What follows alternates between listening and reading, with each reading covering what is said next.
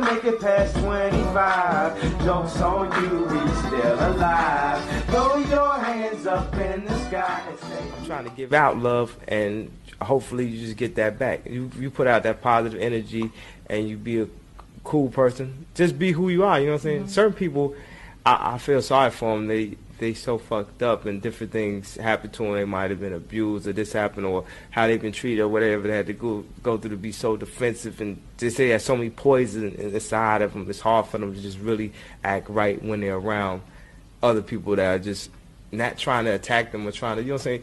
You know, I like when Jay Z said, "Show you how to move in a room full of vultures." Isn't that like mm-hmm. you don't really have to change who you are and start saying, "I'm gonna be a snake. I'm gonna be that." You know what I'm saying? Just know you can't let people use you or misuse you. Life is about using people, though.